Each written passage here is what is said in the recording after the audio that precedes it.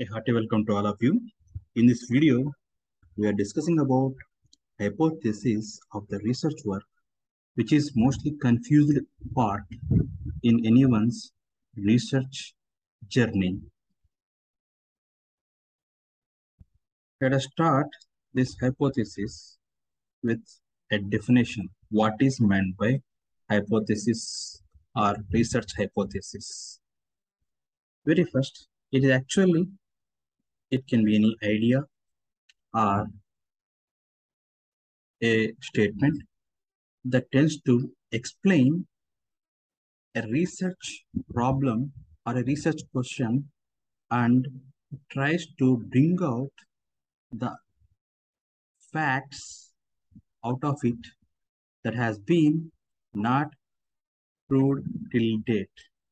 Now, it has become the integral part of the research methods we have to carry out in experiments. Therefore, we must be very careful while do preparation of the hypothesis. Later, let us go to the step-by-step -step formulation of hypothesis.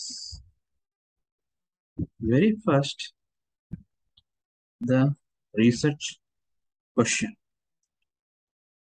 Whenever we begin to prepare hypothesis, it must start with a research question that it should be written in a very simple and specific way that it addresses our problem statement. We must first of all understand what is our topic. Then we must prepare a very simple, specific and only related to the topic that we have chosen for research. Now, once we have the good problem statement, we can put down many questions which are actually very focused and researchable with respect to whatever the conditions we have put down to carry out our research. Once the research question has been asked, next we can carry out a simple initial research or else a preliminary research. At this stage, we have to carry out a simple answer search for the questions that have put down in the very first stage of research question. Now, we should search for what is already known and reported on the concerned topic. Are they published via the previous research works and the respective studies of theoretical aspects such that what type of research we are going to carry out. Here, at this stage, we can gather a evidence and we can also prepare a framework for our research methodology and we can try to figure to the answers what we are going to do. Now, sometimes we have to create some assumptions also during this initial research. Later, once the initial research of previous works and theories have been carried out, we have to go with preparation of the very first draft of our hypothesis. And this must be a clear and concise answer to the question that have been posed in our research work.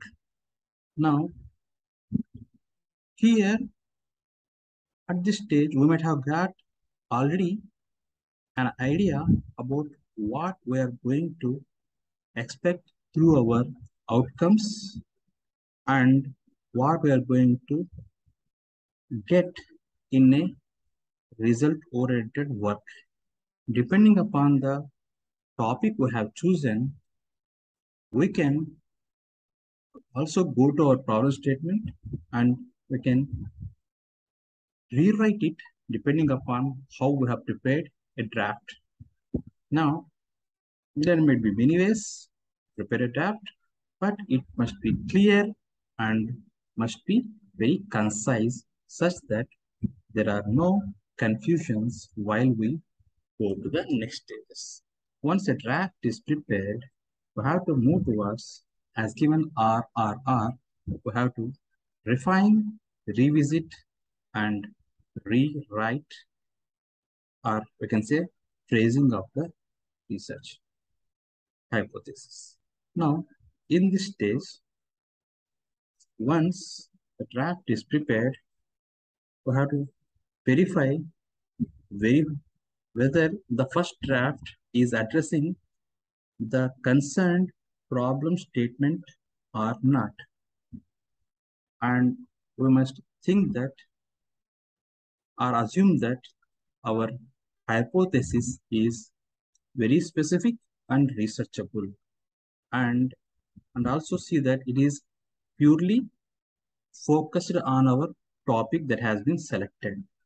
Now here in order to refine we must have some clear pictures like irrelevant variables are there or any relationships are there clearly or any specific groups that are going to be studying this particular research are and also the expected outcomes what are we going to get through this experiment or analysis and also look for the testing and validation of our research such that it is in a clear and concise way. Once refined, revisit and rewrite, the phrasing of these hypotheses is complete. Once it is finished, we have to go to the final stage of our research hypothesis. That is null hypothesis. Here, whenever we feel that we're going to have a statistical testing, we must simply prepare a null testing. Means there is no any issues with respect to whatever the problems that have been and there are no connection between the variables during the statistical testing, we must prepare a null hypothesis.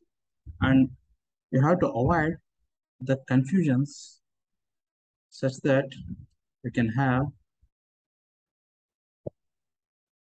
a clear picture of what that has been questioned in the research work. And in the null hypothesis, it is clearly given that there is no relationship between the two variables that has been provided. It will be dependent or independent variables. Once this null hypothesis is prepared, then we can assume that our hypothesis has been prepared in a good way. Now, let me tell you one point here most of the people think that they know everything about hypothesis before they write their thesis, but actually it is most loosely discussed topic and everyone feel that they know this hypothesis. Now, first of all, it should be very specific within academic research. So you should be very clear what you are writing and is it understandable to the research fraternity and also what are the words we are using throughout our hypothesis must be very specific in nature such that the entire hypothesis of the research doesn't go out of the context and it is stick on to the concerned research topic only. And also we have to keep it in mind that even a simplest of the flaw, which is created during the formation of hypothesis, can lead to an adverse effect on the entire investigation and analysis part of the research work. By keeping it in mind, we should have so many questions in mind, but also we should make it as simple as possible. Once again, let me define hypothesis. It's nothing but a statement which tries to give us an explanation for the two questions, why and how, purely based upon the facts and if not facts, some assumptions that are very nearer to the facts and that has been not at all experimented earlier, we should carry out. This is about hypothesis of research work.